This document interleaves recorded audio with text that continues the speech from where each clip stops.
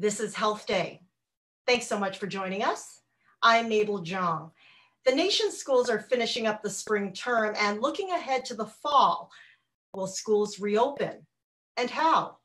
A CDC checklist included guidelines from daily temperature checks for staff and students to staggering arrival and dismissal times.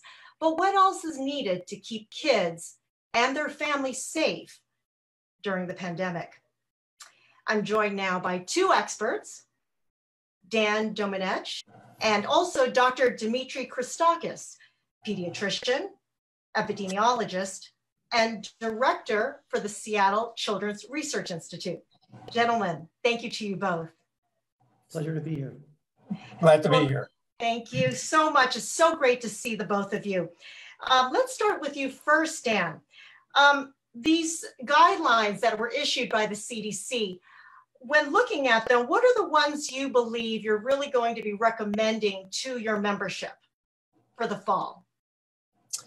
well, we actually uh, were very happy to see that the CDC finally uh, came out with some very specific uh, guidelines. The initial guidelines that came out were basically not really telling us what we needed to know. Uh, so we're very happy with those guidelines and they're very specific. And all of our superintendents are now, and we have as an association basically uh, adopted the CDC guidelines uh, as the criteria uh, mm-hmm. for uh, school districts to use in making uh, decisions to open. Okay. Now, having said that, there's no question, but uh, that the guidelines are going to present some difficulty in implementing, uh, both from a practical sense. For example, uh, how do you keep face masks on kids that are in first, second, or third grade, or even kindergarten? Right. Uh, how do you keep kids uh, apart six feet, uh, as is being recommended? So there's a number of issues there practically that are going to be difficult to implement but also a major cost factor. And mm-hmm. that's, uh, that's the biggest concern and impediment we see right now. Uh, that school districts that are already going to be suffering financially because of the economy uh, are not may not be able to have the dollars that they will need uh, to implement the guidelines as they should be implemented. Now, have you perhaps heard from teachers that are nervous? Um, we, well, from what we know, we we know that teachers sometimes catch the cold or the flu from the students that they teach. Not sometimes. Are they worried about coming back? All the time, not sometimes.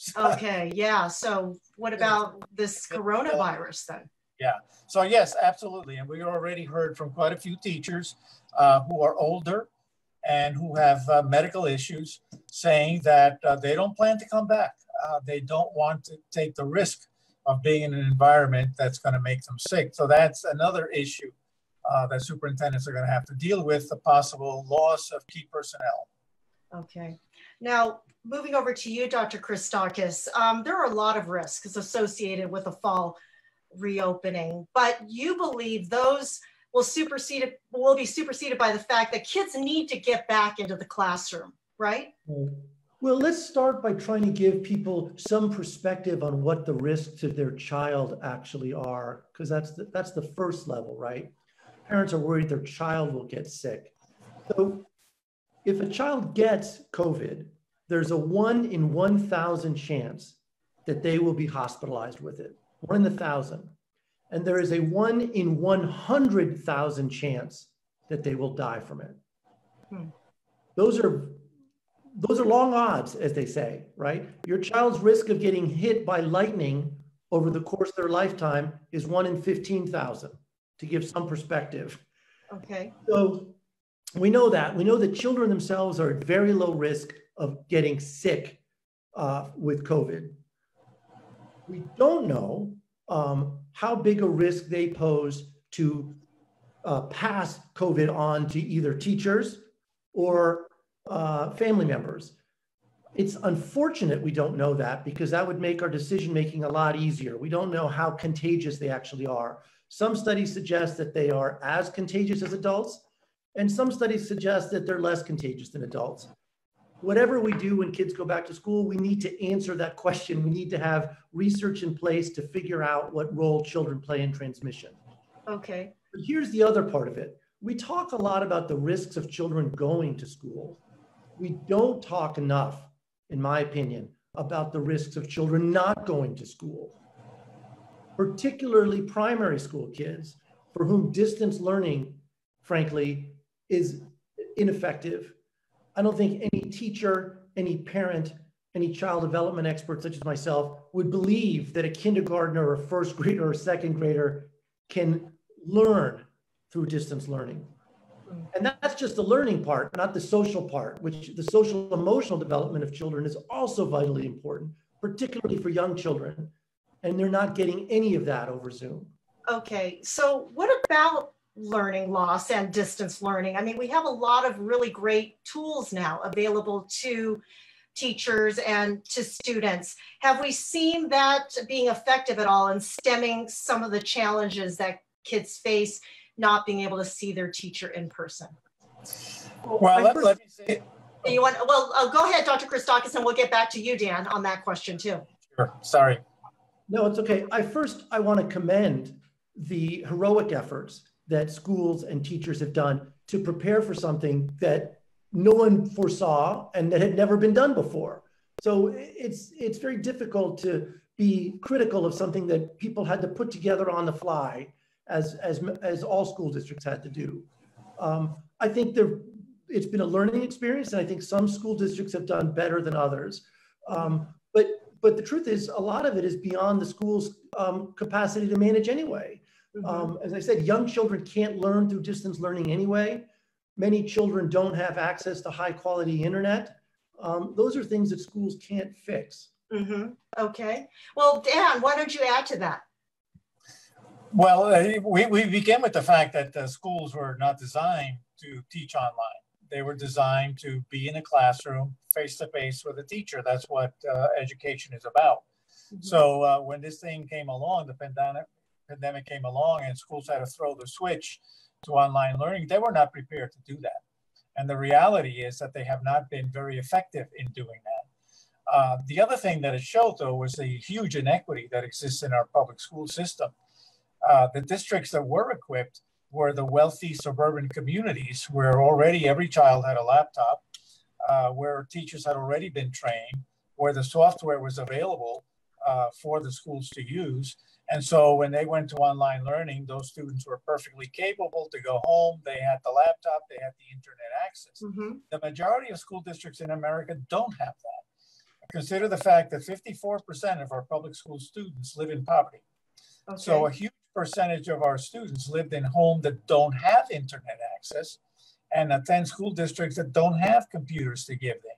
So currently, a huge portion of our student populations have received no instruction at all. Hmm. Uh, so as we think about going into this uh, school year with what seems to be uh, probably will be a blended model of some kids in schools while the rest of them are home and online learning, that problem continues and has yet to be resolved. Well, let me go back to you, Dr. Christakis, about what should the protocol be then if there is infection in the school. Will that be a trigger for these schools to close again? It's a really good question. I want to just add, I'll answer it. I just Please. want to add to what Dan said. Because if we look at the single biggest, best predictor of high school graduation, it's third grade reading levels. So if a child doesn't read at grade level at third grade, they're four times less likely to graduate than if they do. If a low income child, as Dan said, most of the majority of children in public school are low income. A low income child who's not reading at grade level at, by age three is 13 times less likely to graduate. So this learning loss that's occurring in these young children is going to be a real problem if we allow it to go on. Yeah. Okay. They, kids will need to come back to school, particularly primary school kids, because that's the only way they're going to learn. And it's not a question of if, it's a question of when there will be an outbreak, because there will be outbreaks. We know that. We can expect and plan for it. There are a lot of steps we can take to reduce the risk. And there are a lot of steps we can take to reduce the risk of it spreading once it does happen in school. Okay. Um, but uh, when there is an outbreak, clearly there'll need to be um, what's called contact tracing. So everyone that that child was exposed to will need to be uh, tested and followed.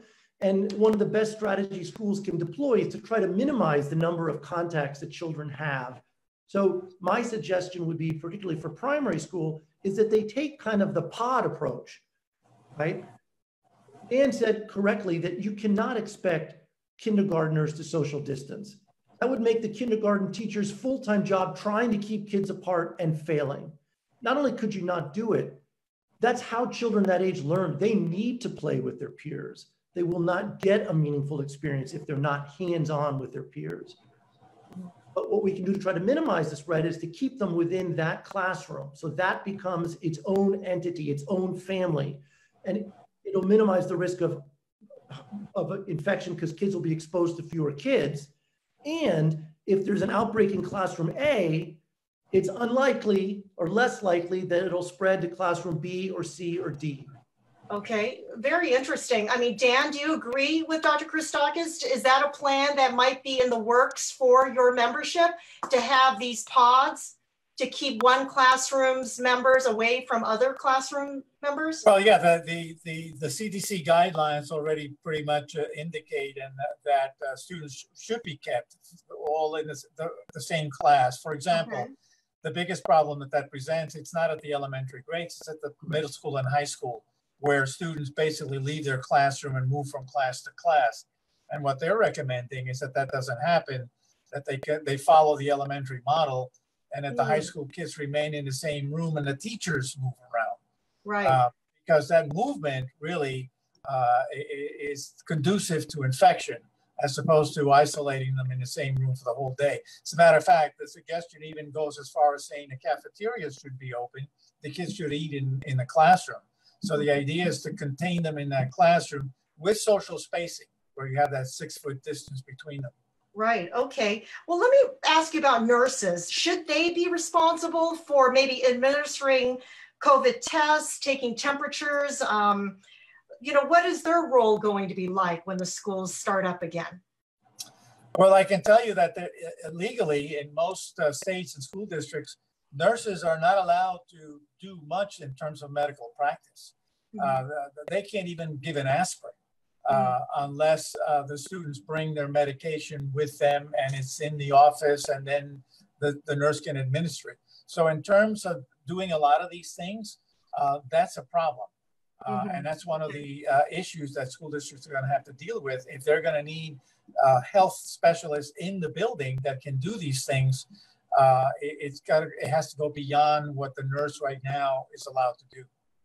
Okay. Um, now, Dr. Christakis, um, also very alarming is data that shows that parents have hesitated to bring their kids in for well visits. Yes. So they may be behind on vaccinations that are so critical for their health? Will we start seeing a spike in diseases that are easily preventable by vaccinations? We could. Cough, yes. uh, whooping, uh, the whooping cough, mumps, measles.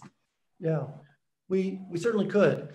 Um, and I think that again, you know, this is going to be important for when when school resumes that uh, that schools enforce uh, the existing max, required vaccinations. So there's there's still time for children to get vaccinated over the summer before school starts, and we should absolutely not, not focus so much on one infectious disease that we lose track of these other ones that for which we do have very effective uh, vaccine.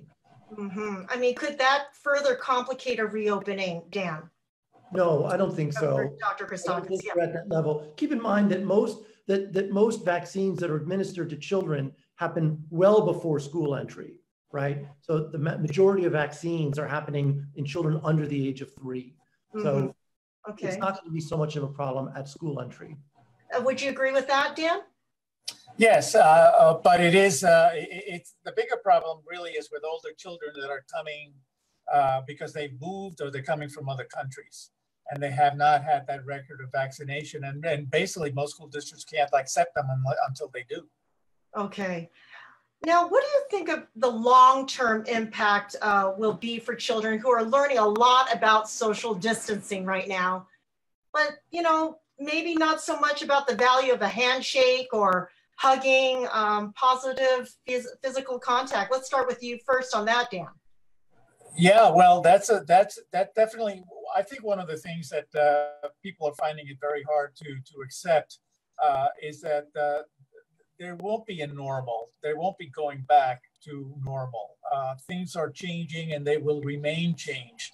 Uh, it'll be interesting to see how long, uh, if we ever go back to shaking hands and hugging, mm. unless you're part of, of a family or with friends that, that you're close to and that you know.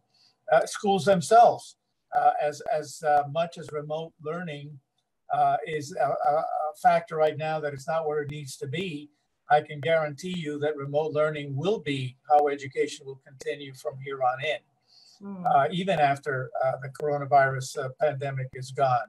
Mm. So there are a lot of changes that are going to affect how we behave uh, and our lives generally, yeah. and certainly schools specifically. Yeah, um, please, Dr. Christakis, this is you see kids all the time. You, you focus a lot on their mental health. Tell me what the long-term impact of this is going to be for kids uh, all through the through elementary school, middle school, high school. Yeah. Well, it's it's it's hard to say the long term, right? Because no one has any experience with anything like this.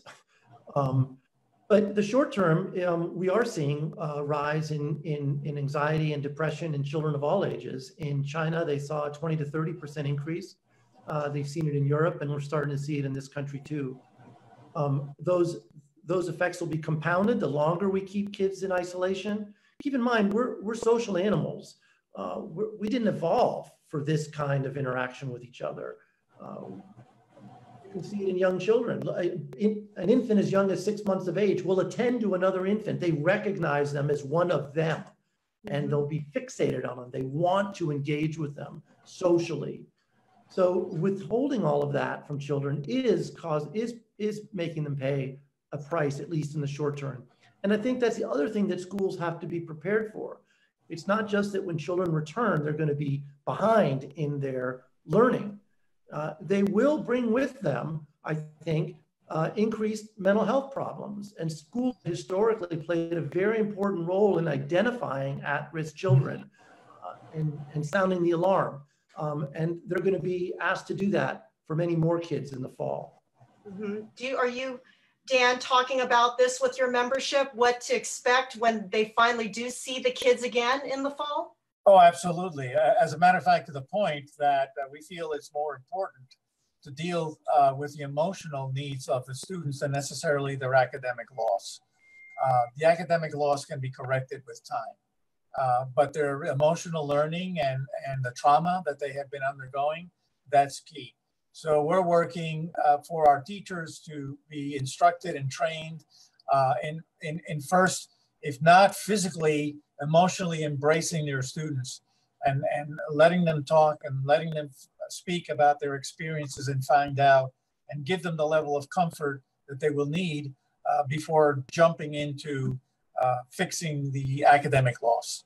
Mm, okay. And finally, what can parents do to support students over the summer and maybe beyond if schools do not reopen?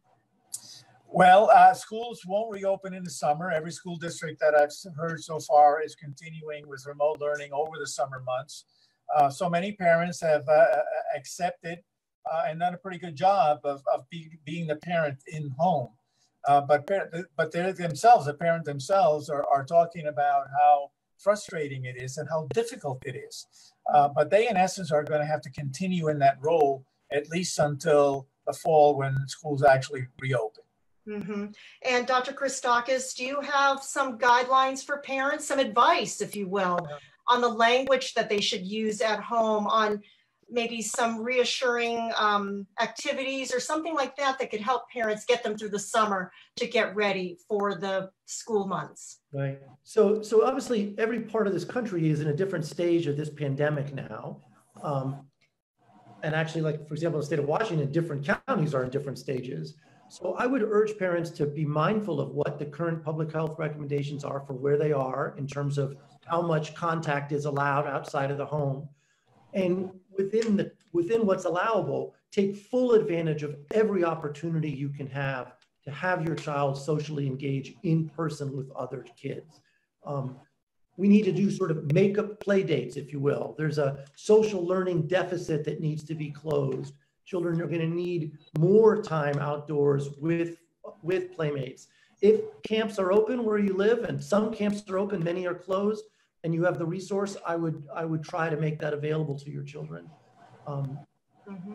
and and and uh, and support them through the summer as best you can. I, I think Dan is exactly right that we should be attending to their emotional health as much as possible to get them ready to go back to school. All right, Dr. Dimitri Christakis of the Seattle Children's Research Institute, and also Dan Domenech, Executive Director at the School Superintendents Association. Thank you. Thank you to you both. Thanks for You're welcome. Thanks for having us. Thank you. Thank you. And for more information on this and other health related topics, stay tuned to live.healthday.com. I'm Mabel Jong. Thanks for watching.